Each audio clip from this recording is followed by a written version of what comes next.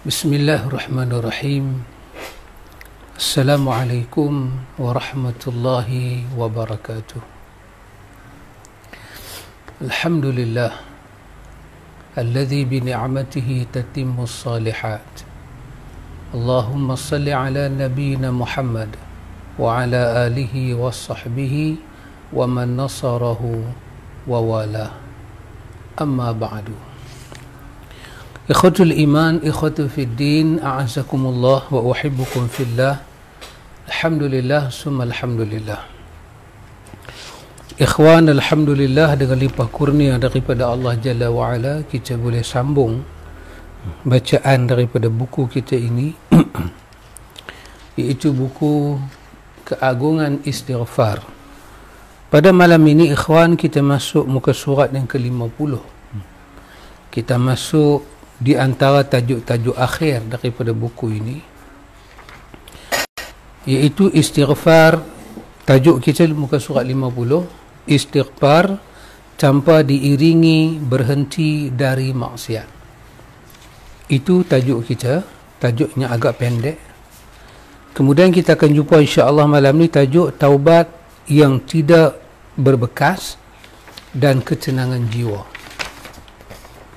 Rasanya insya-Allah kita cuba habiskan juga uh, hanya dua muka surat ini. Baik. Penulis kita ikhwan dia kata istighfar tanpa diiringi berhenti daripada maksiat. Dia kata Allah telah memuliakan kita dengan mengurniakan kepada kita istighfar. Ini satu permulaan yang sangat menarik ikhwan. Allah memuliakan kita. Banyak Allah sebut dalam ayat dia walaqad karramna bani Adam. Allah muliakan anak Adam. Jadi di antara banyak jenis kemuliaan yang Allah beri pada anak Adam, Imam Qurtubi kata di antaranya ialah Allah bagi pada anak Adam di bahasa. Bahasa yang difahami. Tidak seperti binatang, tidak seperti makhluk lain.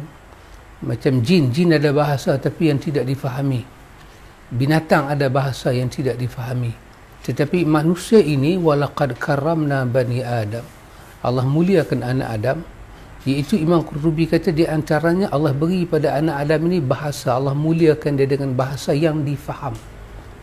Bahasa manusia binatang faham jin faham malaikat faham. Dia berbeza dengan bahasa malaikat. Mungkin kita tak faham. Dengan bahasa jin manusia tak faham. Bahasa binatang kita tak faham maka penulis pula kata salah satu daripada kemuliaan yang Allah Ta'ala bagi pada anak Adam ialah kemuliaan secara khusus ini dalam bentuk din ini kemuliaan dalam bentuk diniyah ini Allah bagi dalam agama yang sempurna ini di antara di antara perkara yang kita dapat faham daripada ayatnya akhir. Turun kepada nabi kita ataupun kita kata di antara ayat-ayat akhir yang turun pada nabi kita al yauma akmaltu lakum dinakum wa atmamtu alaikum ni'mati wa raditu lakumul islam dina. Ini di antara ayat-ayatnya akhir turun. Iaitu Allah Ta'ala sempurnakan agama ini Allah cukupkan nikmat dan Allah redha agama ini menjadi agama bagi kita. Maka di antara bentuk keredaan Tuhan kesempurnaan Tuhan dan kecukupan itu ialah Tuhan sempurnakan jalan. Jalan peribadahan kepada Allah Ta'ala dalam bentuk keruhanian ini. Tuhan sempurnakan sarana-sarana yang kita pakai untuk takarub diri pada Allah. Tuhan sendiri yang sempurnakan. Alakum minad dini Muhammad telah kami syariatkan kepada kamu daripada urusan agama dan urusan agama ni yang sangat sempurna. Sangat kemuncak nikmat dia. Sangat nikmat. Maka istighfar adalah sarana takarub diri pada Allah. Dan dia sangat nikmat. Dan dia sangat sempurna. Dan dia sangat diradai oleh Allah.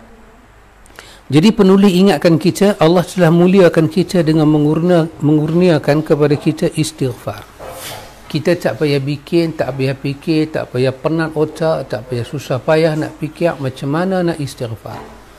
Allah turunkan ayat, ajak kita istighfar, di antara ayat Quran ada ayat doa dan istighfar. Dan Allah hantar Rasul kepada kita mengajak kita bagaimana nak melafazkan istighfar dan mengajak kita uh, bila tempat masa kondisi situasi untuk beristighfar. Semuanya adalah nikmat daripada Allah penulis kata aku pernah membaca dalam kitab Al-Azkar tentang seorang yang bergelantungan di kain pintu Kaabah. Seraya berkata, Ya Allah, aku beristighfar, namun aku masih bergelimang dalam kemaksiatan dan perbuatan tercela. Dan jika aku meninggalkan istighfar, padahal aku tahu luasnya mak maka ini adalah penulis ya ikhwan. Dia kata dia terbaca dalam kitab Al-Azkar tulisan Nawawi. Iaitu bila Imam Nawawi dia sampai dalam Al-Azkar iaitu di bawah bab istighfar. Imam Nawawi dalam kitab uh, kitab di Al-Azkar ketika dia sampai di bawah bab istighfar Imam Nawawi bercerita tentang sama ada ayat Quran ataupun hadis Nabi tentang istighfar. Kemudian dalam dalam dia bercerita tentang istighfar, Imam Nawawi bawa membawa satu kisah dalam Al-Azkar ini. Hmm, iaitu kata Imam Nawawi tentang uh, tentang dia kata seorang yang dia kata uh, wa an ba'dil a'rabi an ba'dil a'rabi annahu yata'allaqu bi astaril ka'bati. Dia pergi gantung dekat kelambu Kaabah. Dia pergi dekat Kaabah dia bergantung. Masa dia bergantung itu dia kata dia kata dia, dia baca doa lah. Dia kata Allahumma inna istighfari ma'a israri laimun. Laimun. Dia kata ya Allah sesungguhnya istighfar aku ini dia, dia, dia bergantung dekat kelambu Kaabah tu dia duduk bergayut kat Kaabah mulut dia duduk kata lagu ni. Dia kata ya Allah sesungguhnya istighfar aku pada engkau ini adalah istighfar ma'a israri bersama dengan Aku istighfar aku buat dosa. Aku istighfar aku buat dosa. Israr dengan sad. Israr bermakna kesinambungan buat dosa. Teruskan buat-buat. Dia kata, Ya Allah, inilah hamba yang datang padamu dengan istighfar, tapi dalam masa yang sama aku masih terus buat dosa. Lah imun. Dan aku tahu, Ya Allah, perbuatan ini sangat buruk, sangat jelek. Wa in taraki al-istighfari ma'a ilmi bisaati afwika la'ajz. Dia kata ya Allah sekiranya aku tinggalkan istighfar ini sedangkan aku ada ilmu pada menyatakan luasnya keampunan engkau kalaulah kerana aku pandang aku ni terus buat dosa maka aku tak patut istighfar. Maka kalau aku tinggalkan istighfar sedangkan dalam ilmu aku tahu kata luasnya ampunan engkau maka itu tanda kelemahan aku. Dia kata dia kata dalam doa dia dia kata fakam tahabbaba ilayya bin na'mi ma'a ghinaka anni. Dia kata ya Allah berapa banyak nikmat yang kau berikan pada aku bersama dengan ma'aghinaka anni banyak nikmat yang berapa banyak nikmat kau beri pada aku? Beserta dengan apa? Beserta dengan tidak perlunya kau pada aku. Kau tahu bahawa kau bagi nikmat pada aku sedangkan kau juga tahu Tuhan kau tak perlu aku. Wa atabaghad wa wa ab wa atabaghdu wa atabaghadu wa atabaghadu ilayka bil ma'asi ma'a faqri ilayka dia kata, Ya Allah, berapa banyak kemarahan engkau berapa banyak benda yang aku buat bawa pada engkau kemarahan dengan maksiat. Ma'afaqri ilaika. Beserta dengan aku ada pengetahuan kata aku sangat memerlukan engkau. Aku sangat fakir pada engkau. Ya man iza wa'ada waffa wahai Tuhan yang apabila ber, dia berjanji berjanji dengan janji-janji yang ditunaikan. Wa iza tawa'ada tajawaza wa'afa. Wahai Tuhan yang apabila dia berjanji mengancam janji keras nak beri azab masukkan ke neraka. Wahai Tuhan yang apabila dia mengancam wa'afa namun dia tetap memberi kemaafan pada hamba dia. Adkhal azima jurmi fi azimi afwika ya arhamar rahimin. Badui ni kata ketika dia duduk, duduk bergantung di kelambu Kaabah dia kata masukkanlah besarnya jurmi. Uh, kalau kita terjemah bahasa buku uh, apa uh, kesalahan-kesalahan aku buat tapi kalau kita bercakap secara kampung jurmi ini bermakna jenayah. Berdosa jenayah-jenayah banyaknya. Dia kata ya Allah masukkanlah besarnya dosa yang aku lakukan ini fi azmi fi azmi afwika di dalam besarnya keampunan kau ya arhamar rahimin. Wahai Tuhan yang paling penyayang daripada yang penyayang ini kisah yang Imam Nawawi masukkan dalam kitab dia Al-Azkar. Penulis kita ini ikhwan dia tertarik dengan kisah ni. Dia tertarik dengan kisah ni. Dia tertarik dengan kisah ni dia nak dia nak tunjuk kata ada orang dia mengaku depan Tuhan kata dia dia istighfar dia taubat tapi dia tak boleh tinggalkan lagi yang itu. Kesalahan-kesalahan dia. Dia tak boleh tinggal maka kerana itu terbukalah uh, minda penulis untuk membuka bab ni. Satu orang yang istighfar tapi tak boleh meninggalkan dosa. Maka dia teringat dalam Al-Azkar ada cerita ini. Cerita seorang Arabi bergantung di kelambu Kaabah dan dia duk bercerita dengan Tuhan tentang dia istighfar tapi dia masih buat dosa. Dia mengharap Tuhan dia mengaku dia silap. Cuba tengok bagaimana penulis nak mengolah dia kata bagaimana uh, tingkat kebenaran perkataan ini Kewajipan seorang mukmin adalah beristighfar dan taubat meskipun masih bergelimang dalam kemaksiatan. Soal uh, maksiat itu lain. Soal istighfar soal yang kena. Dia harus berusaha melawan hawa nafsunya. Adapun bergelantungan dengan kain penutup Kaabah adalah perbuatan yang tidak berdasarkan ilmu.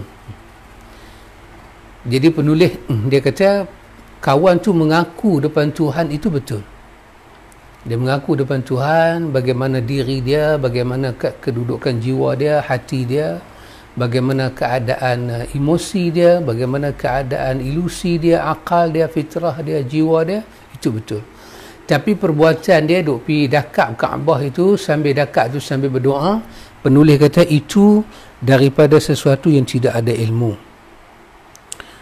Akan tetapi hendaklah dia beristighfar. Yang patutnya dia sepatutnya beristighfar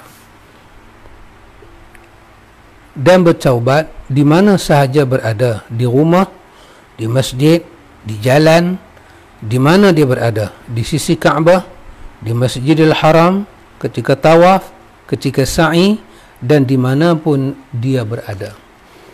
Kewajipan dia adalah taubat dan kembali pada Allah dan bertekad dengan penuh kejujuran untuk meninggalkan perbuatan dosa. Dia tidak tercela. Bahkan kewajipannya adalah istighfar kepada Allah. Berusaha sungguh-sungguh meskipun terkadang masih terjerumus dalam perbuatan dosa. Dia terus berusaha untuk mengiva, mengivaluasi dirinya. Terus berusaha melawan hawa nafsunya. Sehingga dia betul-betul bisa meninggalkan perbuatan maksiat tersebut. Kedermawanan Allah dan kemurahannya. Mengharuskan seorang mukmin untuk memiliki harap terhadap rahmat Allah terus bersemangat untuk istighfar dan tidak akan pernah putus asa meskipun perbuatan maksiat masih ada. Dia terus berusaha melawan hawa nafsunya dan inilah kewajipan ke atasnya. Kewajipan ke atas kita menurut uh, pandangan daripada penulisnya ialah bahawa istighfar. Teruskan istighfar, teruskan istighfar. Kadang-kadang itulah ada ada jatuh, ada bangun, ada jatuh, ada bangun, ada godaan, teruskan istighfar teruskan. Istighfar seseorang itu adalah taufik dari Allah. Oleh kerana itu hendaklah dia selalu merenggak meminta dan berdoa kepadanya. Meskipun perbuatan maksiat masih ada hingga betul-betul maksiat tersebut hilang dari dirinya. Tidak gampang putus asa dengan berkata aku menyerah sahaja menyerah dan putus asa itu terlarang. Allah Taala berfirman, "La taqnatu min rahmatillah." Janganlah kamu berputus asa dari rahmat Allah. Juga firman Allah, "Wa la tayasu min rauhillah." Jangan kamu berputus asa daripada Allah Taala. Ini penulis sedang bagi penjelasan kepada kita. Kamu jika masih berbuat maksiat maka janganlah putus asa. Bahkan kamu harus berusaha dan terus berusaha di setiap saat untuk mendidik dirimu agar menyesali perbuatanmu dan berhenti daripada maksiatmu sesuai dengan kemampuanmu. Jangan putus asa dari rahmatnya. Jangan patah harapan. Bahkan berusahamu, bahkan usahamu untuk berhenti dari maksiat merupakan tanda kamu orang yang kuat bukan orang yang lemah. Kerana orang yang kuat adalah orang yang berusaha terus menerus untuk bertaubat menyesali perbuatan dosanya berusaha berhenti dari maksiat selalu introspeksi diri dan berusaha untuk berteman dengan orang-orang baik. Kamu berusaha ingat kamu berusaha ingat selalu keagungan Allah, kedermawannya dan kemurahannya. Dialah Allah yang memiliki kasih sayang, ampunan luas, maka janganlah kamu patah harapan dan janganlah kamu putus asa. Akan tetapi, jangan relakan dirimu mengikuti bisikan syaitan untuk tidak taubat dan tidak istighfar. Baik ikhwatul iman, a'azakumullah. Dari penjelasan penulis ini, dapat kita buat beberapa kesimpulan. Satu. Satu, orang yang beristighfar, orang yang bertaubat tapi masih lagi is israr. Israr. Itu terlibat lagi dengan dosa. Itu penulis kata, itu bukan satu keaiban. Tetapi sebaliknya, teruskan lagi istighfar, teruskan, teruskan dan teruskan. Karena itu ikhwan, hmm. karena itu apabila kita membaca tentang uh, suatu bab berkenaan dengan kenapa susah manusia ini untuk istighfar, untuk tinggalkan dosa, uh, kenapa susah manusia nak uh, bawa diri dia lekat, takarub diri pada Allah, dekatkan diri pada Allah.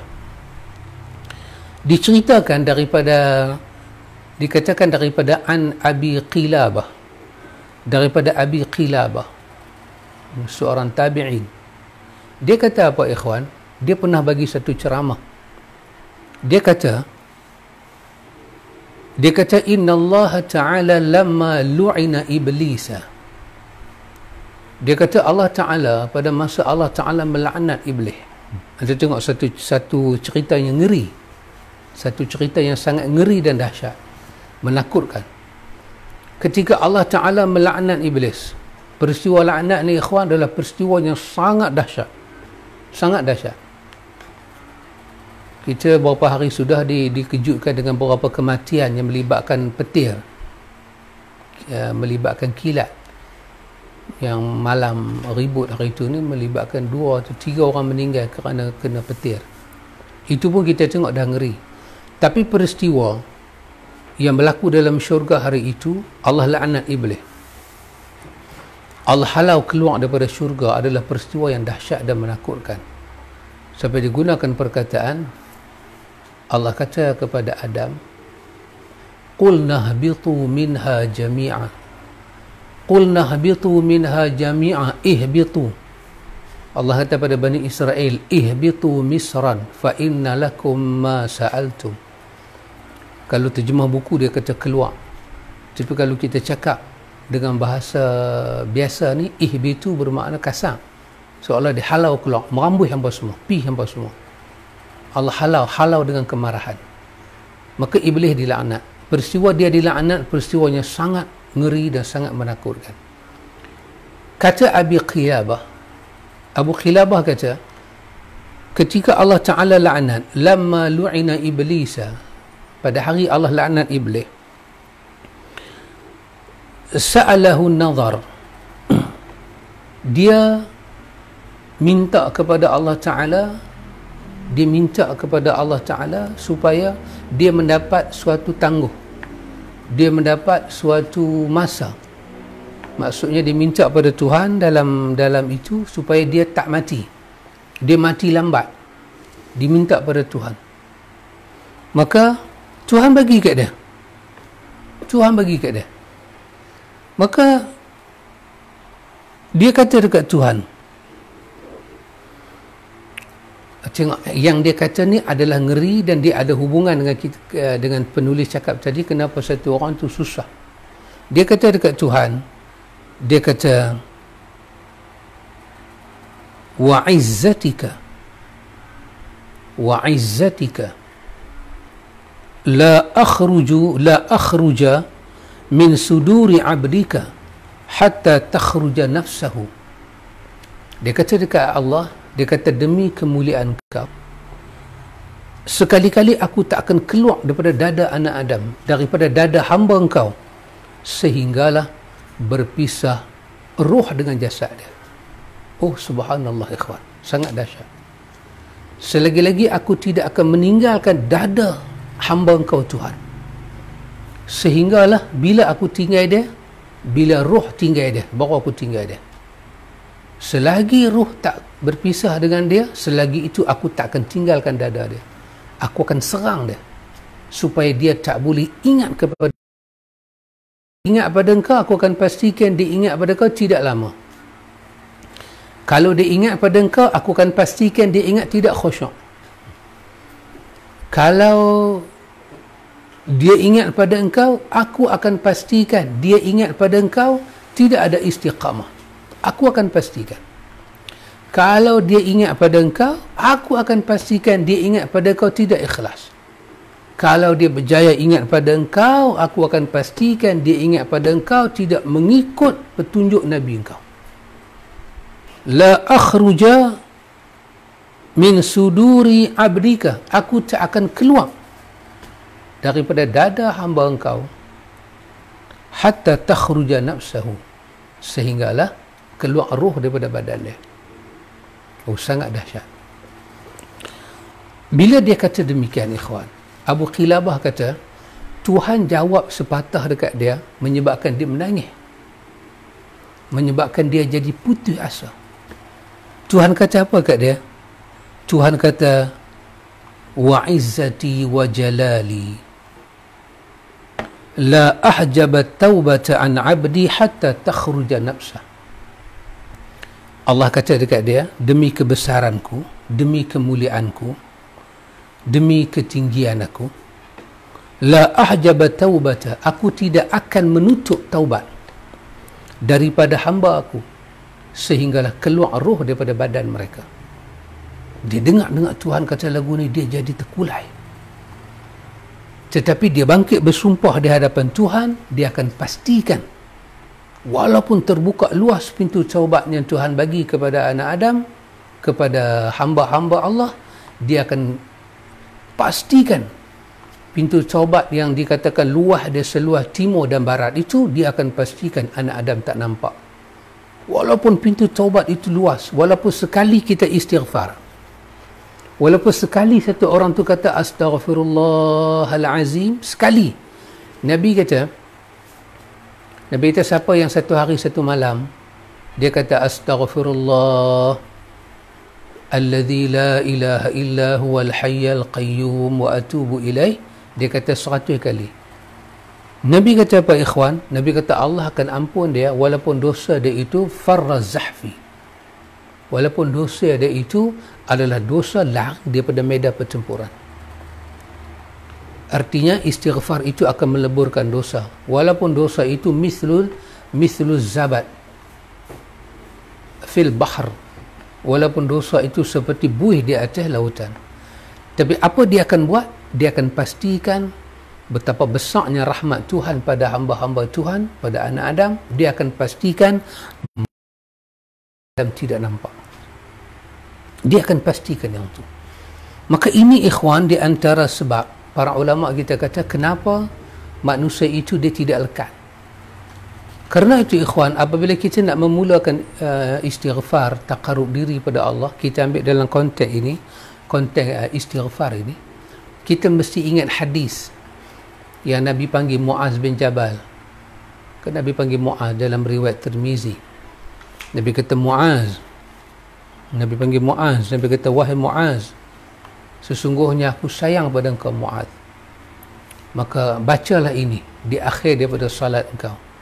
Allahumma a'inni ala zikrika wa syukrika wa husni ibadatika. Jadi uh, istighfar dan taubat ini satu daripada mendekatkan diri pada Allah. Maka kita kata Allahumma a'inni, a'inni. Ya Allah tolong saya ala zikrika. Istighfar itu satu daripada zikir ingat Allah. Ya Allah tolonglah saya ala zikrika untuk ingat pada engkau ya Allah. Wa syukrika untuk syukur engkau ya Allah. Wa husni ibadatik. Dan untuk melakukan amal ibadah yang yang baik. Jadi itu kita jangan lupa. Kenapa ikhwan? Kerana riwayat tadi, riwayat daripada Abi Qilabah tadi, sangat dahsyat apa dia akan buat. Dia tak akan lepas seorang pun daripada anak Adam walaupun iblis itu sekok eh. alaihi laknatullah tapi dia mempunyai bala tenteranya begitu banyak dia boleh menghasut daripada kalangan jin menjadi syaitan menjadi bala tentera dia dia boleh menghasut di kalangan anak Adam menjadi syaitan bala tentera dia. Maka dia boleh menghasut daripada kalangan binatang menjadi bala tentera dia. Maka dia akan susahkan anak Adam. Terutama beratkan anak Adam dalam urusan nak mengingati Allah sedang insaf sebut nama Allah istighfar. Dan kalau antum kita baca riwayat-riwayat para salafus salih, depa akan cerita. Dia akan cerita apa dia ikhwan? Dia akan cerita awal-awal perjalanan mereka dalam dunia zikrullah. Semuanya menyebut para ahli zikir menyebut yang paling berat paling boring benda yang paling bosan adalah mendekatkan diri pada Allah. Paling bosan. Dan itulah satu benda yang dia tak lepas kita. Dia akan pastikan rasa bosan tu. Dia duduk dalam dada kita dia membayangkan kebosanan dia akan bawa rasa bosan naluri bosan emosi bosan kita astagfirullah kadang-kadang kita kita hanya sebut kalimah pendek tapi nak perhabis seratus itu kita rasa berjam-jam. Kita tak astagfirullah astagfirullah rasa biji tasbih itu macam tak berjalan. Cuba bayang kalau kita ambil zikir yang panjang sikit. Astaghfirullah alladhi la ilaha illa huwal hayyal qayyum wa atubu ilaih satu. Nak sebut dua nak sebut tiga. Kemudian nak nak bagi seimbang dengan hati pikiran. Seratus nak perhabis oh, Allahu Akbar. Berat ikhwan berat. Itu adalah hanya suatu permulaan sahaja. Itu adalah suatu sihir yang dibuat oleh iblis supaya kita lari daripada zikrullah. Maka hadis yang Nabi ajak kepada Muaz bin Jabal itu sangat betul ikhwan Allahumma a'inni ala zikrika wa syukrika wa husni ibadatik. Jadi sebelum kita berzikir kepada Allah kita berdoa. Kemudian kita berzikir dengan adab.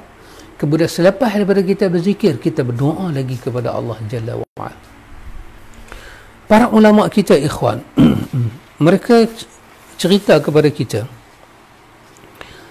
uh, semasa kita berzikir kepada Allah Taala ini mereka juga menyebut kepada kita apa yang patut kita buat supaya zikir itu menjadi menjadi kuat kepada kita. Di antaranya Imam An-Nawawi menyebut dalam kitab dia Al-Azkar.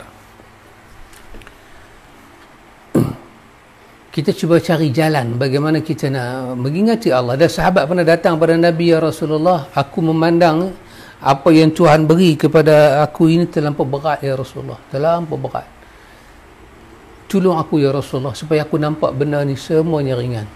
Apa Nabi kata? Nabi kata basahkan lidah kamu dengan mengingati Allah. Basahkan lidah kamu dengan menyebut nama Allah. Rasa berat rasa bosan. Siapa yang buat benda ni ikhwan dalam hubungan bertemu dengan Tuhan? Iblis. Dan tadi dia kata dah. Dia kata aku tak akan keluar daripada dada anak Adam. Artinya bila dia tengok anak Adam nak dekat diri pada Allah dia datang dia tengok anak Adam nak uh, nak mendekatkan diri dengan Quran dia datang. Dia tengok anak Adam nak menghabiskan masa dengan ilmu dia datang. Dia tengok anak Adam nak menghabiskan masa dengan membawa diri mengenal Tuhan dia datang. Hmm. dia datang dengan seribu jalan. Dalam surah Al-A'raf dia kata apa?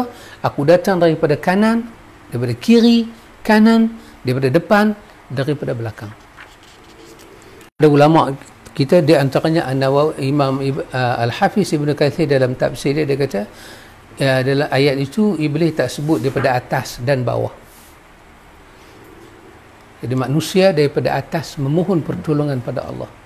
Daripada jalan bawah manusia sujud taat pada Allah. Dua jalan itu dia tak boleh halang kita. Kanan dia boleh halang kiri dia boleh halang depan dia boleh halang belakang dia boleh halang.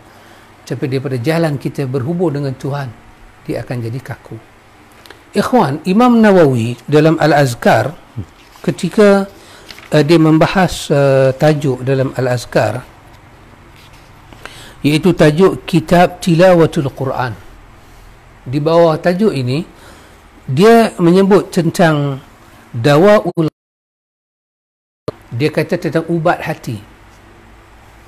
Ubat hati Quran itu Imam Ibn Qayyim kata Quran itu kalau tidak boleh menyembuhkan kita ketahuilah sudah tidak ada ubat dalam dunia boleh menyembuhkan. Kerana Allah menyatakan dalam Quran dalam surah Al-Ali dalam dalam surah Al-Isra bahawa Allah turunkan Quran wa nunazzilu minal qur'ani ma huwa shifa. Allah turunkan Quran itu di dalamnya ada syifa Ibn Qayyim kata siapa-siapa tak mendapat syifa penawar daripada Quran sesungguhnya tidak ada penawar dalam dunia ini untuk dia. Ini dalam masalah dawaul qalbi merawat hati. Bukan penyakit uh, penyakit tulang ke penyakit uh, kulit ke tapi dawaul qalbi. Bagaimana merawat hati? Dengan menggunakan dawaun ilahiyun ubat daripada Tuhan. Dawaun rabbaniyun ubat ketuhanan Imam Ibnu Imam Ibnu eh, Imam Nawawi rahimahullahu taala ikhwan dia kata dia kata qala as-sayyidul jalil sahibul karamat wal ma'arif wal mawif Ibrahim radhiyallahu an dawaul qalbi khamsatu asya. Imam Nawawi menakal perkataan seorang yang bernama Ibrahim Al-Khawas dan An-Nawawi menyebut dengan perkataan Ibrahim Al-Khawas ni dengan sahibul karamat seorang yang mempunyai karamah kemuliaan hidup. Lagi orang yang uh, cerah celik mata hati dia dengan Tuhan. Nawawi kata Ibrahim Khawas Ibrahim Al-Khawas kata dia kata ubat hati ni ada lima. Merawat hati dengan lima. Istighfar termasuk dalam ubat hati. Istighfar adalah ubat tetapi lima perkara ni ialah untuk menjadikan ubat itu berperanan. Dawaun qalb. Kita merawat hati kita ambil ini sebagai rawatan. Kita kita ada ubat di tangan tapi kita nak makan ubat kita minum dengan air. Maka lima perkara ni ibarat macam mana ayam dia mencernakan ubat tu masuk dalam badan. Apa dia dia kata Ibrahim Al-Khawas kata yang pertama qiraatul Quran bitadabbur bitadabbur iaitu membaca Quran dengan tadabbur. Membaca Quran dengan tadabbur. Untuk tengok hubungan istighfar dengan Al-Quran. So manusia ketika dia membersihkan hati dia beristighfar so dia kena jaga. Dia kena jaga macam orang buat bendang dia kena ada batas kalau dia tak jaga ayak dalam bendang melimpah keluar ataupun ayak bendang lain masuk ke dalam bendang dia. Maka untuk bagi istighfar kita itu hidup maka tilawatul Quran bitadabbur. Baca Quran dengan tadabbur. Tadabbur ini kalau kita tengok daripada perkataan dubur dubur bermakna belakang.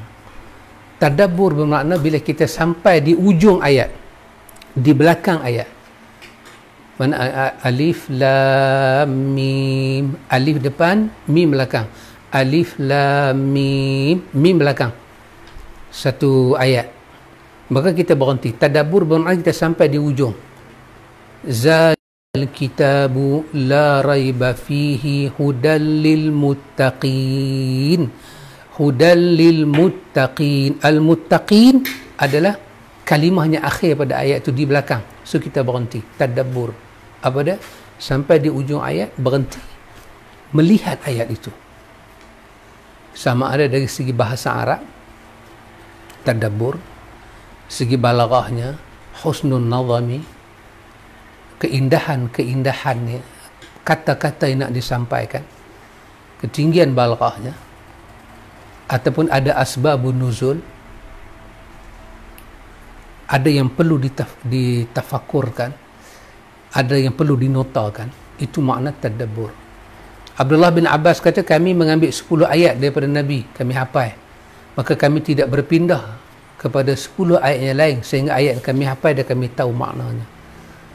Maka kata Ibrahim Al-Khawas dawaul qalbi itu di antaranya ialah qiraatul Quran bitadabbur satu. Dua khala'ul batni khala'ul batni dia kata apa? Dia kata kosongkan perut. Iaitu dengan banyak kita puasa. Kosongkan perut. Sebab itu adalah dia punya cara. Supaya kita rasa, setiap zikir itu kita rasa. Dia kata, kata Ibrahim Al-Khawas. Yang ketiga, Qiyamul Lail. Kita bangun malam. Kerana di ujung malam itu Tuhan akan bertanya siapa yang nak berdoa, siapa yang nak meminta? Siapa yang nak istighfar? Dia kata dia nak terima. Maka qiyamul lail itu daripada da'bus salihin peradaban orang salih dia kata wa tadarru' 'inda sahar tadarru' 'inda sahar merendah diri pada waktu sahur. Merendah diri pada waktu sahur. Maksudnya mengambil waktu sahur itu ikhwan pada waktu sahur itu orang duduk uh, mencari sesuatu. Apakah yang boleh dia dapat daripada Tuhan dia? Ibrahim bin Hatib kata kata Ibrahim bin Hatib dia kata sami'atu rajulan fi sahri fi nahiyatul masjid. Dia kata dia Ibrahim bin Hatib kata dia masuk masjid daripada satu sudut satu penjuru masjid itu dia terdengar suara dan pada masa dia masuk tu waktu sahur waktu orang duk makan sahur dia terdengar suara orang. Orang kata Rabbi amartani fa'ati'nak. Tuhan kau telah perintahkan aku dan aku telah taat pada engkau. Wahada sahar faghfirli dan inilah waktu sahur maka ampunlah aku. Dia kata fa tu aku cari suara tu. Dia kata faiza aku dapati suara itu huwa bin mas'ud. Dia adalah suara Abdullah bin Mas'ud yang masuk ke dalam masjid pada waktu sahur kerana Allah menyatakan wabil ashari hum yastaghfirun. Pada waktu sahur mereka beristighfar. Maka Tuhan kata waktu sahur mereka istighfar maka para sahabat bangkit waktu sahur mereka akan tuntut janji Tuhan. Dia kata Tuhan ini dia waktu sahur maka terimalah apa-apa dari kami. Anah bin Malik kata apa? Anah bin Malik kata kunna na'mur idza sallaina min al-laili an nastaghfir fi al-akhir as-sahr fi uh, fi akhir as-sahri 70 marrah. Kami diajak oleh Nabi. Bila kami bangkit semayang pada waktu sahur kami tidak akan meninggalkan istighfar sehingga 70 kali. Maka tadarru' kata Ibrahim bin Khawas tadarru' inda sahar merendah diri pada waktu sahur itu adalah dawaun qalbi. Dan yang kelima kata wa majalisatu salihin. Majalisatu salihin. Dia kata bersama dengan majlis orang-orang yang saleh Kok mana pun ikhwan kita memerlukan seorang yang saleh boleh membimbing kita. Seorang yang saleh boleh membimbing kita. Artinya kalau kita kajian istighfar, kita kata kita istighfar, kita taubat tapi tak ada orang boleh membimbing kita. Bimbing ni maksud dia apa ikhwan? Bukanlah bimbing macam macam apa nama apa itu khalifah tarekat membimbing tarekat tidak. Bimbingan ni sekadar bermakna orang itu boleh menceritakan kepada kita bagaimana Rasulullah, bagaimana Rasulullah, bagaimana Rasulullah. Bagaimana kita boleh mendapat contoh dan panduan dari Rasulullah. Itu saja ikhwan. Itu diperlukan bimbingan. Kita baca Quran, Alhamdulillah. Macam Ibrahim bin Khawas kata baca Quran dengan tadabbur. Kita kosongkan perut. Kita qiyamul lail. Kita perbanyakkan doa waktu sahur. Kalau empat benda ni kita boleh buat. Tapi kita tidak bersama orang saleh kita tak bersama orang saleh.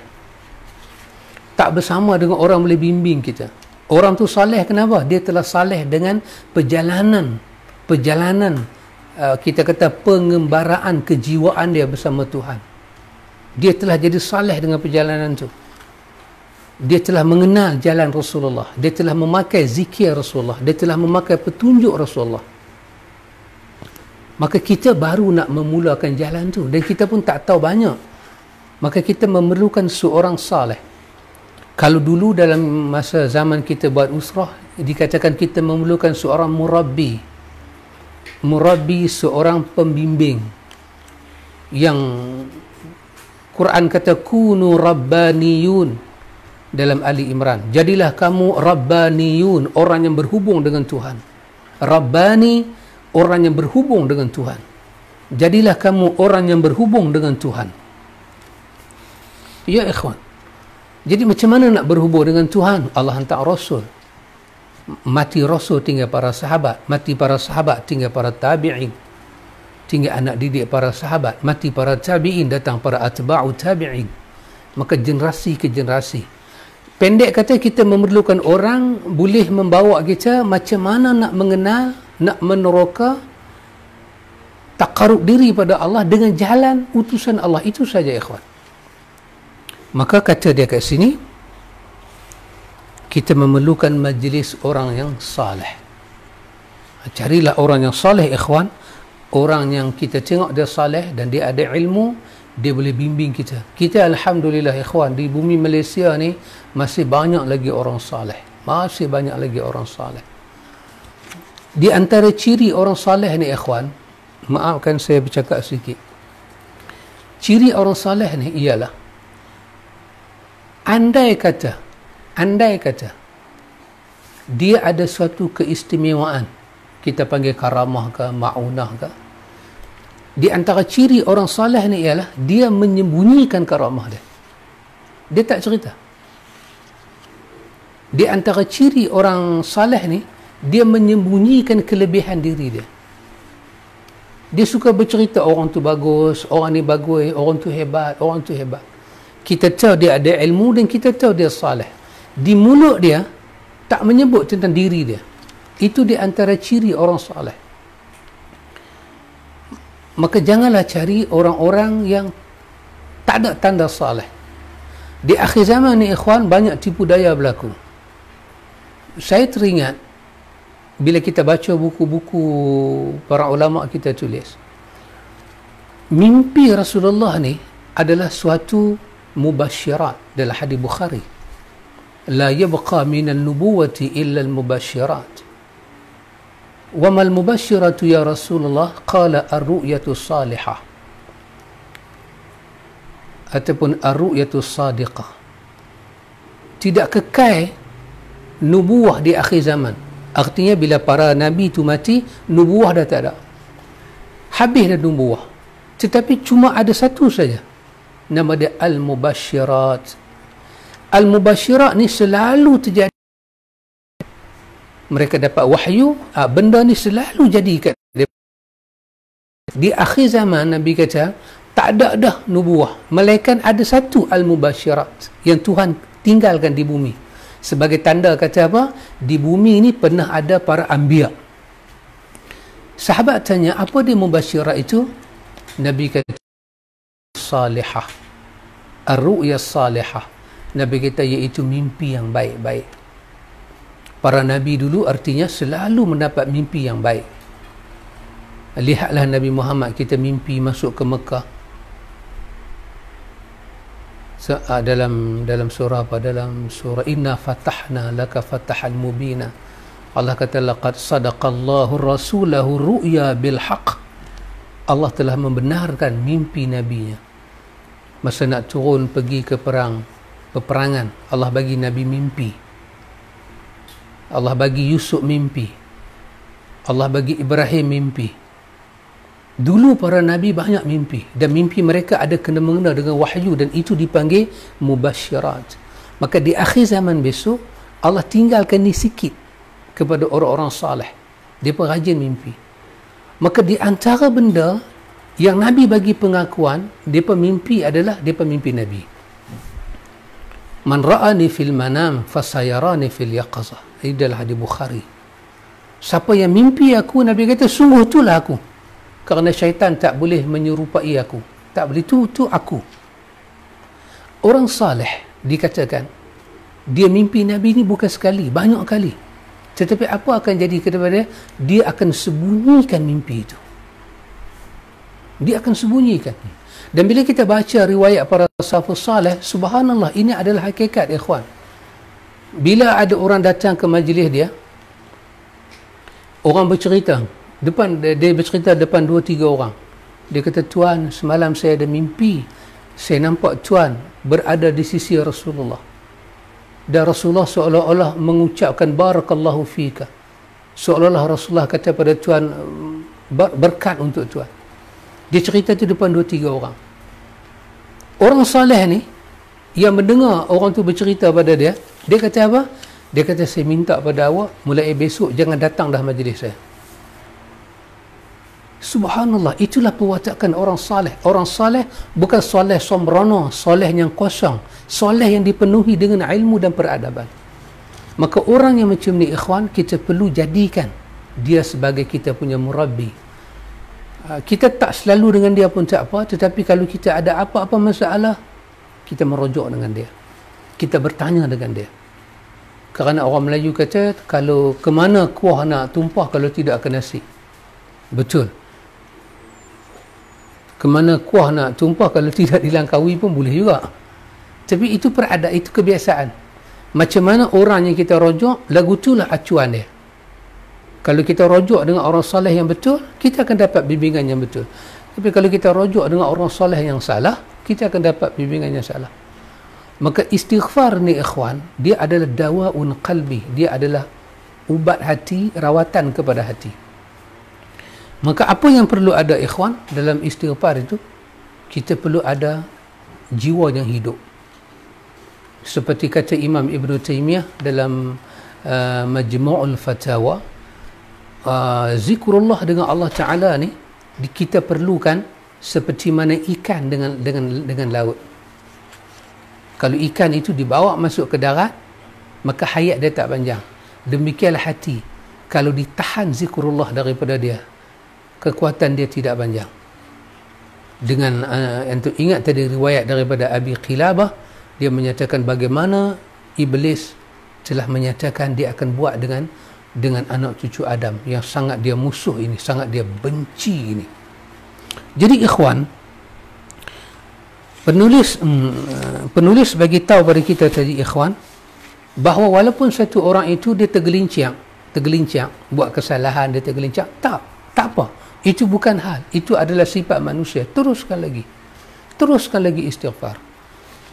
Kerana ikhwan para salafus salih selalu menyatakan ini seperti yang eh, saya ingat kita pernah ungkap perkataan ini. Seperti yang disebut oleh apa nama imra'atul salihah Rabi'ah binti Ismail yang terkenal dengan nama Rabi'atul Adawiyah. Kata Imam Zahabi dia ini seorang imra'atul salihah wanita yang salihah.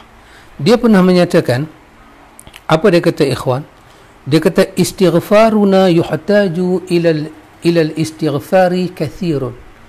Istighfar kami ini memerlukan kepada istighfar yang lain yang banyak lagi. Dalam istighfar kami perlu istighfar. Dalam istighfar kami perlu istighfar. Dia kata apa? Dia kata istighfaru bil lisan wa niyatuhu ay ya'uda ila dhanbi fa inna taubatuhu taubatul kadhibin ini perkataan Rabi'atul Adawiyah. Dia kata kalau orang itu istighfar dengan lisan, istighfaru bil lisan wa niyatuhu ay ya'uda ila dhanbi. Mulut tu istighfar tapi hati tu ingat nak nak kembali pada dosa. Fa inna taubatuhu maka taubat yang macam ni taubat seorang yang bohong dia kata. Seorang yang bohong. Jadi itulah diperlukan seorang yang uh, murabbi yang saleh tadi, yang alim, yang saleh, yang ikhlas tadi ni. Dia boleh bimbing kita. Kadang-kadang kita istighfar kita terlalai sat so kita nak tahu istighfar kita tu jadi ke tak jadi? Kita tanya dengan dia. Bukan semua kelalaian itu dianggap istighfar itu sia-sia tidak. So kita tidak ada pengetahuan itu. Kita memerlukan seorang yang alim seorang yang saleh seorang yang ikhlas dengan ilmu dan amal dia seorang yang beramal eh, kita memerlukan orang tu ikhwan. Dalam hal kerohanian ni orang alim yang tidak beramal tidak boleh membimbing orang awam yang ingin beramal. Orang alim dia orang alim tapi dia tidak beramal. Dia tidak boleh menjadi murabi kepada orang awam yang ingin beramal dengan ikhlas. Ini seorang awam walaupun dia awam tapi semangat dia nak beramal itu tinggi. Cuma dia memerlukan bimbingan maka seorang alim yang tidak saleh tak boleh bimbing dia kerana tak sampai kerana seorang alim yang tidak saleh, tidak beramal dengan ilmu dia, dia bimbing orang yang nak beramal, tak akan sampai. Dia hanya luaran saja. Tapi dia nak bimbing jiwa orang, tak boleh. Dan dia tak akan ngam. Maka kita memerlukan seorang alim yang saleh, yang ikhlas, yang boleh membimbing kita. Bila kita menghadapi kekeliruan dalam istighfar, kita bertanya dengan dia, dia boleh menjawab soalan kita, dan boleh membawa penyelesaian. Maka kerana itu ikhwan Rabi'ah Al-Adawiyah menyatakan dia kata apa dia? Dia kata wa innama taubatu an yastaghfiru bil lisan wa yunwa alla ya'uda ila zambi.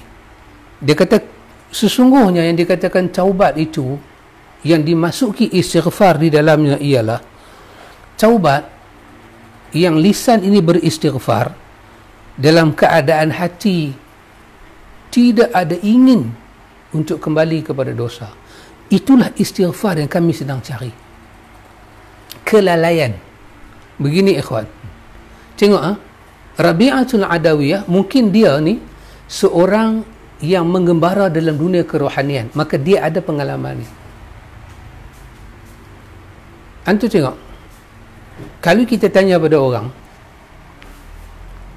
saya istighfar tapi saya lalai. Tentulah jawapan dia akan kata pada kita istighfar itu tidak bermakna. Sebenarnya tidak. Istighfar itu tidak bermakna. Cuma kita nak istighfar kata Rabi'ah bila dia kata innama taubah sesungguhnya taubat itu ayas ain uh, taubat itu ayastaghfira bil lisani. Masa lidah kita kata istighfar. Masa lidah kita kata astaghfirullah astaghfirullah. Wa yanwa alla ya'uda ila dhanbi. Kalau masa mulut kata astaghfirullah hati masa tu boleh ada dalam hati apa dia? Tak mau dah buat dosa. Masa tu. Maka itulah istighfar yang diterima. Masa bila? Masa beristighfar artinya kalau kita beristighfar kita terlalai sikit tertidur tasbih jatuh ataupun tengah-tengah kita istighfar orang panggil kita jawab itu bukan masuk kelalaian. Kelalaian ni ialah bila sedang istighfar hati bercita-cita buat dosa itulah kelalaian. Itulah yang tak boleh. Maka seorang alim yang saleh yang wara yang memasuki dunia kesalehan ini dia boleh membedakan benda ini kata Rabi'ah kata Rabi'atul Adawiyah fa iza fa'ala zalika kalau kau boleh istighfar macam ni. Mulut kata astaghfirullah hati ya Allah saya tak kembali dah pada dosa. Masa tu astaghfirullah hati ya Allah tolonglah saya a'inni ala zikrika wa syukrika wa husni ibadati. Mulut kata astaghfirullah hati kata ya Allah tolonglah saya ya Allah. Fa in fa'ala zalik Rabi'ah al-Adawiyah imra'atu salihah ni kata kalau kamu boleh buat demikian ghafarallahu lahu zambahu. Allah akan ampun dosa engkau.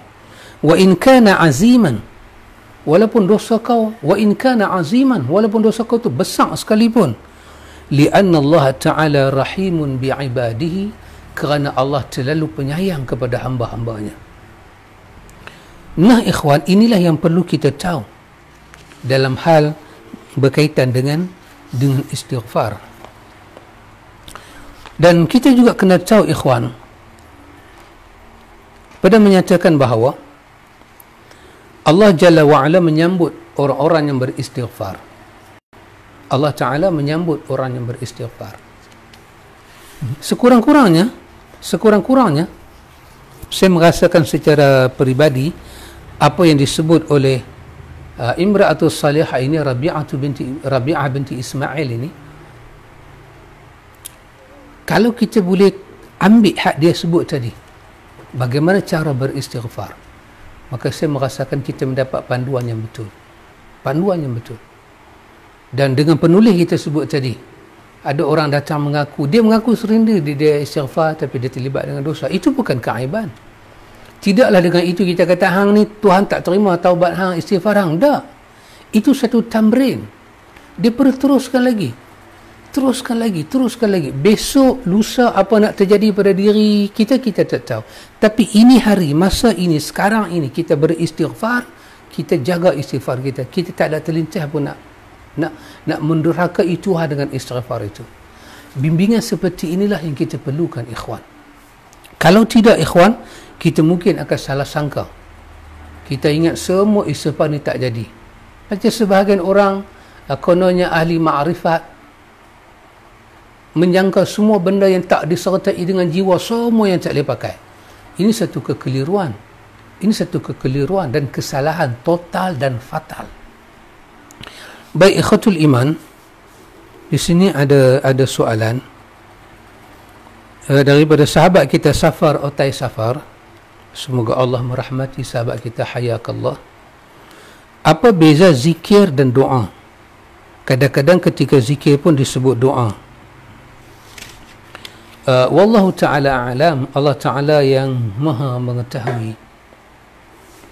Biasanya kalau kita ikut dia punya susunan kalau kita sebut doa doa dia merujuk kepada apa? Dia merujuk kepada kita kata da'a nida seruan memohon itu doa Allahumma doa dia start dengan kepala ya rabbi Allahumma disuruh Tuhan ya Allah wahai penciptaku menyeru Tuhan, memanggil Tuhan supaya Tuhan memakbulkan hajat dia. Itu doa. Zikir, zikr, dia merujuk kepada mengingati nama-nama Tuhan. Mengingati kebesaran Tuhan walaupun di dalamnya tak dimasuki dengan doa. Tapi kadang-kadang ada zikir dalam bentuk doa. Rabbana atina fid dunya hasanah wa fil akhirati hasanah wa qina adzaban nar. Ini termasuk doa dan termasuk zikir. Rabbi ighfirli wa liwalidayya. Itu termasuk itu termasuk doa dan juga termasuk daripada zikir. Ada doa dalam bentuk umum dan ada zikir dalam bentuk yang khusus. Jadi secara bahasa doa bermakna merayu memohon supaya Allah tunaikan hajat kita ataupun Allah melindungi kita daripada satu mara bahaya. Zikir bermakna kita menyebut nama-nama Allah. Kita memuji Allah. Walaupun di dalamnya tidak dimasuki apa-apa. Imam Ahmad kata apa? Imam Ahmad ketika dia membahas masalah iftitah Nabi Imam Ahmad kata aku lebih suka iftitah Nabi yang di dalamnya yang di dalam iftitah Nabi itu hanya ada memuji Tuhan. La Nabi takbir Allahu Akbar. Subhanakallahumma wa bihamdika. Tabarakasmuka wa ta'ala jadduka. Wala ilaha ghairuka Imam Ahmad kata ini iftitah Nabi yang benar-benar di dalamnya berisi Allahil azim bukan ada minta pun hanya puji. La ilaha illallah dia zikir memuji Tuhan. La ilaha illallah wahdahu la syarika lah. Lahul mulku wa lahul hamdu wa huwa ala kulli syai'in qadir. Memuji Tuhan. Tanpa meminta apa tapi doa isinya adalah meminta. Isinya adalah meminta tetapi sunat doa diawali dengan berzikir dan memuji Tuhan. Semoga sahabat uh, safar otai uh, uh, safar otai safar boleh dapat kefahaman. Dari sahabat kita Husni Yusuf macam pernah dengar nama ni. Di mana? Semoga sahabat diberkati oleh Allah Jalla wa'ala. Di mana saja sahabat berada. Nak minta sedikit pencerahan, pencerah tentang nisfu Sya'ban baca Yasin tiga kali dan sebagainya. Allah Ta'ala maha mengetahui. Saya dulu cakap tajuk ni lah kena maki teruk. kena maki teruk kita nisfu Sya'ban. Pertama, hmm. pertama. Nisfu nisfu kita kata bermakna sebahagian. Dia dia ada nisfu Muharram, nisfu Safar, nisfu Rabiul Awal, uh, dia ada nisfu Ramadan, dia ada nisfu Syawal, nisfu Rejab, nisfu Sya'ban. Nisfu bermakna bila bulan tu masuk 15 15 dia turun lah 15 dia turun 16, 17, 18 itu dipanggil nisfu. Dia telah mengakhiri separuh. 1 sampai 15 tu dah nisfu awal. Separuhnya awal dah berlalu. Maka nisfu. Sya'ban nisfu Sya'ban. Sya'ban tinggal nisfu. Tinggal bahagian yang kedua. Separuh yang kedua untuk masuknya Ramadan. Itu kita faham makna nisfu dulu. Dan kita boleh sebut nisfu rejab pun boleh. Nisfu Ramadan boleh baik. Cuma bila disebut nisfu Sya'ban kalau kita kata nisfu rejab nisfu rejab bermakna kata malam nisfu rejab bermakna ini 14 14 rejab malam 15 so besok 15 dia akan turun jadi 16, 17, 18 kalau kita kata nisfu rejab lepas nisfu rejab lepas berakhirnya separuh kedua rejab apa kita nampak? Akan masuk satu sya'ban. Uh, kita punya semangat tu dia punya semangat tu tak ada lah macam mana sangat. Tapi kalau kita kata nisfu sya'ban bermakna sya'ban ni nak habis dah. Habis sya'ban ni habis nisfu sya'ban ni kita akan masuk nisfu sani bahagian yang kedua daripada Sya'ban maka bila berakhirnya nisfu sani min Sya'ban artinya hilal Ramadan. Dia akan keluar anak bulan Ramadan. Itu menyebabkan di kalangan orang-orang yang mencintai Ramadan tertunggu-tunggu dengan nisfu Sya'ban nisfu Sya'ban dan hadis menyebut pada kita ikhwan hadis menyebut kalau kita baca dalam syarah kepada bulughul maram uh, San'ani menyebut dalam Subul Salam bahawa daripada 1 Syaban sampai 15 Syaban disunatkan kita berpuasa. Puasalah.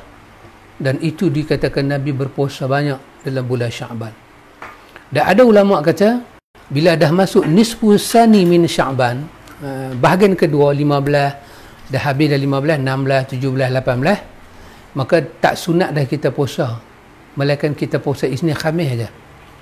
Tak ada ulama kata makruh kita puasa kecuali Isnin dan Khamis saja.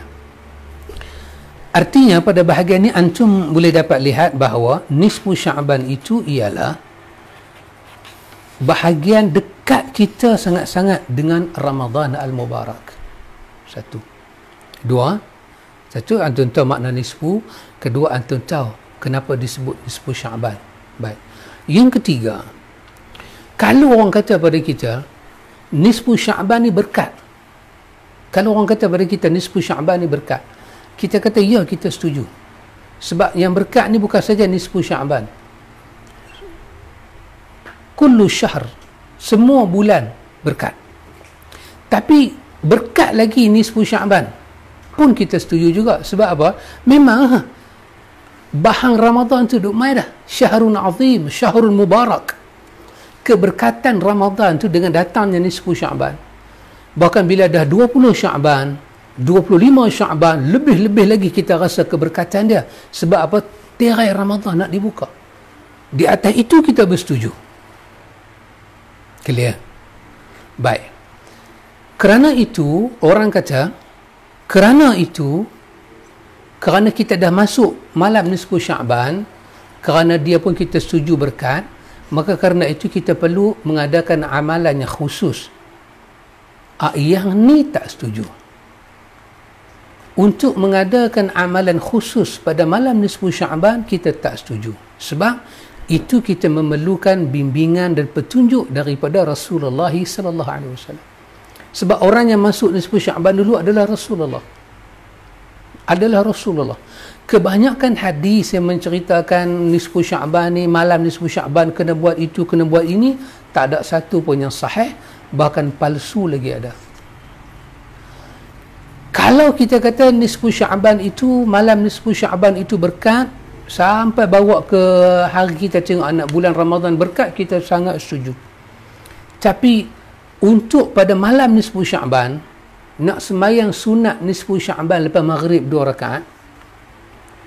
Kemudian nak baca yasin tiga kali dengan tiga niat sebelum masuk isyak baca yasin lepas dengan satu niat lepas baca lagi yasin dengan niat kedua baca lagi yasin dengan niat ketiga kerana itu amalan yang dibuat pada malam nisfu sya'ban maka itu tidak tepat kerana tidak ada suatu petunjuk pun daripada Nabi sallallahu alaihi wasallam. Tak ada. Itu itu tak benar.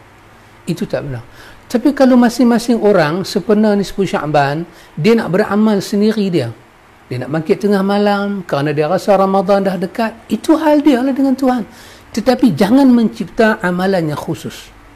Tidak tidak boleh. Kerana Nabi menyatakan dalam hadis daripada Aisyah hadis Bukhari Muslim man ahdatha fi amrina hadha. Siapa yang mereka-reka dalam urusan kami ini. Lagi dalam satu lafaz man amila amalan laisa alaihi amruna. Siapa yang beramal dengan satu amalan yang tak ada pun daripada petunjuk kami bimbingan kami dia cipta lepas tu dia amal. Dia cipta lepas tu dia amal. Di ujung hadis itu Nabi kata fahawa radun maka amal itu semua tidak diterima. Maka pada malam apa sekalipun apabila kita beramal kita mesti mengambil petunjuk Nabi Muhammad sallallahu alaihi wasallam saya katakan ikhwan satu orang uh, kita hari ini hari ini kita 14 Syaban Hari ni kita 14 Syaban. Besok 15. Maknanya inilah malam ni 10 Syaban. Esok 15. So malam ni nak baca satu orang uh, dengan dengan apa K apa KPK P PKP maksud dia? PKP Perintah Kawalan Pergerakan. PKP dia pun tak tahu nak buat apa. Antara maghrib dengan isyak dia pun tak tengok live lagu ni semua. Semalam dia tunggu mamak ni tak keluar. Dia pun ingat malam ni tak keluar juga. Dia pun duduk baca yasin. Dekat dia yasin yang mudah dia baca. Seorang-seorang dia. Tak apa silakan tanpa dia perlu i'tiqad dalam hati kata inilah amalan yang aku kena buat pada malam ni 10 Syaban tidak ada bahkan ada hadis Imam Muslim daripada Abi Hurairah Janganlah kamu khususkan pada hari Jumaat dengan satu puasa yang kamu tak pernah puasa hari lain.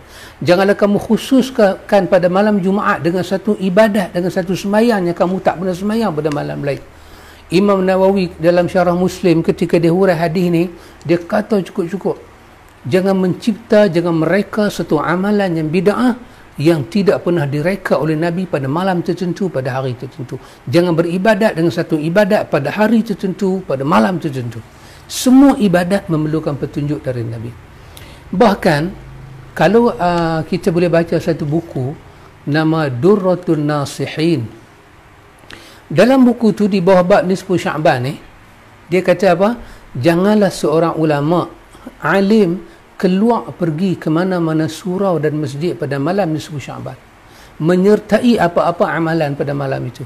Ditakuti dengan penyertaan orang alim ni pada majlis itu dianggap majlis itu daripada agama.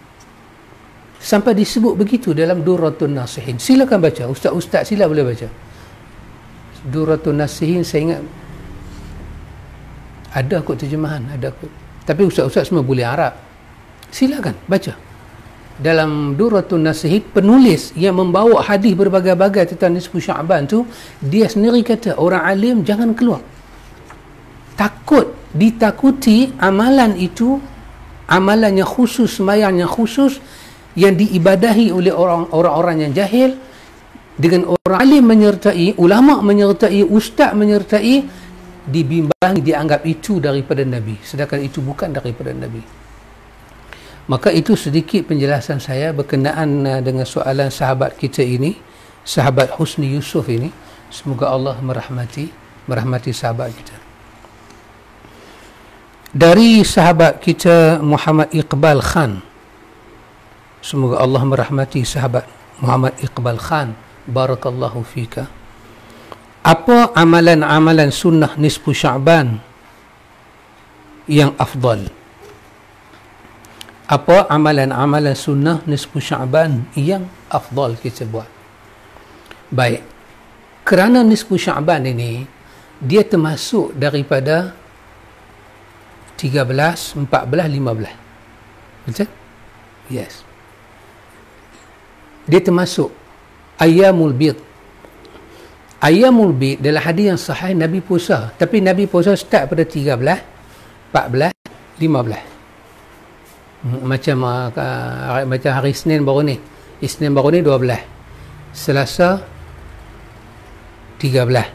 Hari ni Rabu 14 besok sehari lagi puasa 15 ha, jadi siapa yang puasa minggu ni besarlah ganjaran dia 12 tu hari Senin terbuka diangkat amalan kita hari Nabi lahir hari di, diturutkan wahyu pada Nabi hari itu besar lepas tu 13 13 ayamul bid.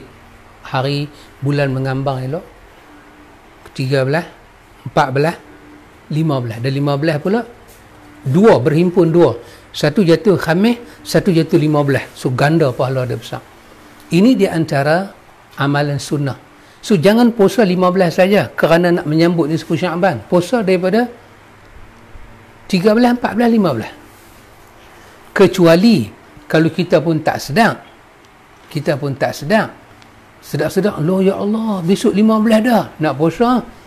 Ha, maka ingatlah dalam kita puasa kerana esok hari khamis. Kerana esok hari khamis. Dan tak, puasa tu tak ada kena mengena dengan nisfu sya'ban tetapi dia adalah hari-hari putih orang panggil. Hari-hari bulan memberi sinaran yang cukup indah. Nabi puasa tiap-tiap bulan macam tu Nabi Nabi puasa uh, Pak Amit, Pak Cik Bari, Pak Cik Din selalu puasa. Pak Cik Aisyah pun puasa. Uh, Pak Cik Nazri pun puasa. Semua orang rajin puasa. Al-Fadhil seorang je balok. Bukan balok terlupa. Ha, Ustaz lah dia puasa. Ustaz lah dia rajin. Dia memang orang soleh. Dia rajin puasa dia. Baik. Kemudian kerana itu jatuh itu esok amalan itu Syaban eh? kita dah puasa, puasa dah tadi Alhamdulillah. Maka apa yang kita nak buat? Kita yakin malam ni malam berkat. So banyakkan tilawatul Quran berdoa pada Allah Ta'ala istighfar kita. Memohon doa-doa yang istimewa. Kalau kita yakin malam ni adalah malam yang mulia malam yang berkat itu jangan cipta amalan-amalan yang baru. Semayang tahajud macam biasa zikir macam biasa tilawatul Quran macam biasa. Cuma kita rasakan kita berkat tu kita cuba rasa. Ya Allah besok malam ni tidur besok buka-buka mata dah 15 Syaban. Ya Allah berapa hari lagi ada? 15 uh, 29 Syaban tengok anak bulan. Jadi 15 nak pergi 29 berapa hari dah 14 hari. 14 hari aja macam tempoh kuarantin aja Berjam cilik, berjam cilik. Lepas habang tambah lagi 14. Mengamuk pula rakyat Malaysia. Ni dah nak masuk. Nak suruh jadi gila. Ini pun pasal apa? Pasal tadi boleh keluar dengan motor. Ha, ni jadi ah, okey sikit. Kalau tadi tak keluar lah. Mampu ya. So kita amalan. Besok. Besok kita masuk hari Senin, eh, Khamis 15. So kita dah masuk nisfu Syaban. Apa kita buat? Perbanyak kesedekah. Ya, dalam uh, Subul Salam dia kata, kita boleh puasa daripada 1 Syaban sampai 15 Syaban. Boleh puasa. Perbanyakkan puasa. Boleh. Tapi selepas daripada 15, esok Khamis, so Jumaat, dah tak sunat dah kita puasa. Melainkan Isnin pula sunat.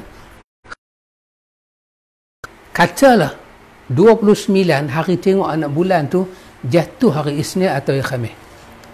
Tak sunat puasa untuk orang yang tak tak membiasakan puasa tetapi boleh puasa bagi orang yang selalu puasa Isnin dan Khamis.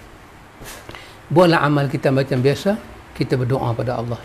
Itu yang kita jumpa dalam riwayat yang yang sahih. Kita kenang malam ni kepada Nabi, banyak keselawat kita kat Nabi. Berdoa pada Allah. Tadi antum puasa malam yang antum tilawatul Quran, istighfar, berdoa Allahu akbar. Itu kalaupun kalau boleh buat mustajab doa. Mustajab doa. Mintalah kepada Allah Covid ni balik ke negeri asal dia. Suruh dia balik daripada mana dia main, suruh dia pergi balik. Buat lagu dah pasal Covid. So kita nak kena hafal lagu tu. Baik, ikhwatul iman. Itu uh, di antara jawapan saya kepada sahabat Muhammad Iqbal Khan. Semoga jawapan itu ada bermanfaat kepada diri saya dan kepada kepada kita semua. Ikhwatul iman, a'azakumullah. Tadi saya katakan kita nak habiskan ini nampaknya tak dapat juga. Boleh tajuk dia pendek-pendek je. InsyaAllah ikhwan pada malam besok saya akan cuba taubat yang tidak berbekas. Kenapa taubat itu tidak berbekas, ikhwan? Ya, kita akan cuba cek taubat yang tidak berbekas. Jadi, sekurang-kurang malam ni kita belajar apa, ikhwan? Kita belajar. Walaupun orang itu beristighfar, dosa tak boleh tinggal, itu bukan uh, itu bukan keaiban, teruskan istighfar, teruskan. Yang kedua, kita tahu bagaimana nak menghadirkan hati ketika istighfar yang dimaksudkan dengan istighfar yang lalai itu ialah masa kita istighfar masa mulut dia kata astagfirullah hati duk cadang lepas ni maksiat apa aku nak buat? Ha, itu istighfar yang tidak ada bekas. Tapi kalau time istighfar uh, teringat gaji masuk dah lagi ATM machine pun dia kata dah hilang dah melarikan diri kerana tak tahan orang duk cucuk teruk sangat. Dah hilang mesin tu dah hilang dah. Jenuh nak kena pergi cari taman mesin tu kalau teringat duit teringat kepada dua tiga hal kita itu itu tidak masuk lalai. Tak masuk lalai. Cuma kita akan lebih fokus. Kita akan lebih fokus uh, siri keberapa hari itu kita dah bincang dah tentang bila kita berzikir pada Allah kena ada keyakinan hati jauhi hati yang lalai dan hati yang tidak serius. Dua ketiga ikhlas pada Allah. Kemudian ditampung dengan apa? Ditampung dengan yang kita buat itu berada di atas petunjuk Nabi Muhammad sallallahu alaihi wasallam.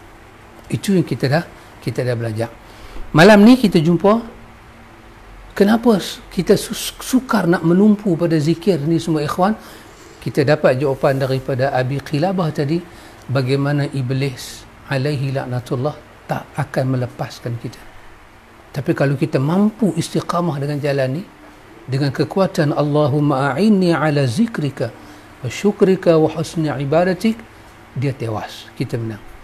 Dan kita jumpa juga perkataan Nawawi pada malam ni tentang dawaul qalbi tentang ubat hati itu apa dia?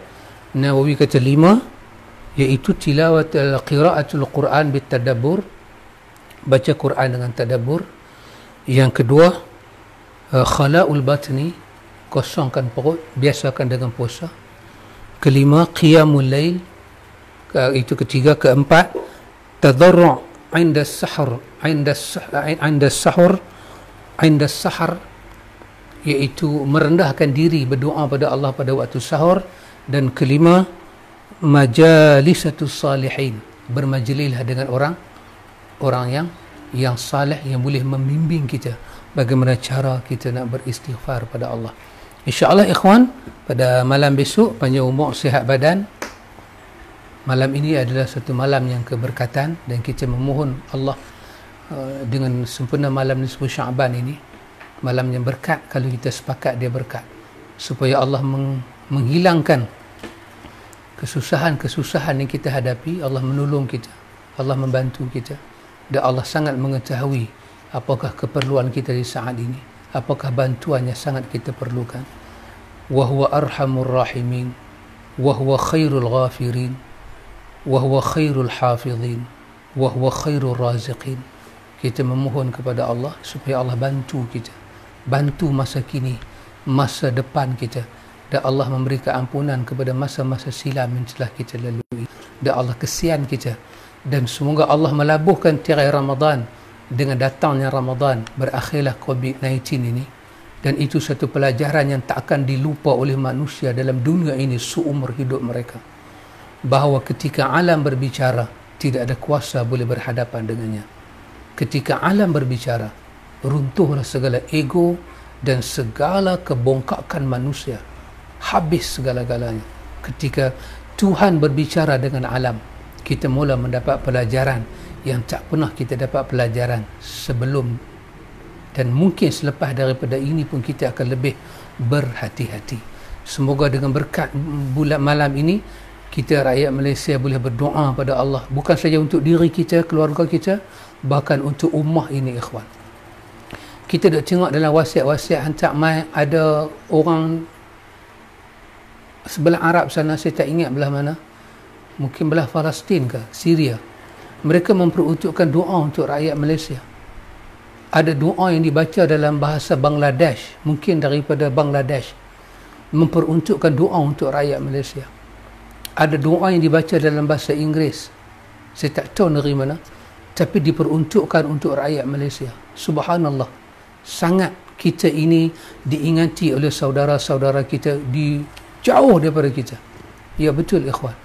Dan kita kena kenang ini semua kalau COVID ini hilang, ketahuilah kita telah menelan jasa manusia. Maka selepas daripada ni ikhwan, kita tidak boleh hidup dengan bermusuh. Kita tak boleh hidup dengan membenci. Kita kena hidup dengan penuh rahmah dan kasih sayang dan tolak ansur. Kerana kesemua ini menelan jasa setiap ummah dan setiap perasaan ummah. Dengan malam nisfu Sya'ban ini datang, kita berdoa pada Allah. Dan besok ada khamih Uh, hari Jumaat bermulalah uh, nisfu daripada Syaban itu. Kita mengharapkan hari-hari yang datang ini menggembirakan kita. Kerana kita orang kata uh, walaupun kita salah kita mengaku kita salah depan Tuhan tapi kita tetap nak puasa kita tetap nak berterawih kita tetap juga nak bertadarus di masjid di rumah Allah. Semoga harapan itu doa itu didengari oleh Allah Jalla wa'ala. insyaAllah ikhwan besok kita cuba tengok lagi dua tajuk. Uh, saya fikir kalau berakhir dua tajuk ini berakhirlah bab dalam buku kita ini. Cuma tinggal satu bab saja lagi di ujung itu iaitu bab penulis hanya nak berkongsi kisah dan pengalaman bagaimana orang-orang yang dia jumpa mereka berkongsi tentang mereka beristighfar apa terjadi dalam hidup mereka. Itu pun saya rasa patut kita baca kerana dia perkongsian itu boleh merangsangkan semangat kita motivasi kita insyaAllah ikhwan panjang umur sehat badan saya doakan antum dalam limpahan uh, kesihatan keberkatan Allah memberkati rezeki antum, keluarga antum, umur antum, kesihatan antum. Allah memberkati juga untuk saya dan keluarga saya. Semoga Allah memberkati kita semua dunia sampai akhirat. Wa huwa arhamur rahimin. Hayakumullah, barakallahu fikum. Wa ila liqa. Subhanakallahumma wa bihamdika. Ashhadu an la ilaha illa anta. Astaghfiruka wa atubu ilaih. Assalamualaikum warahmatullahi wabarakatuh.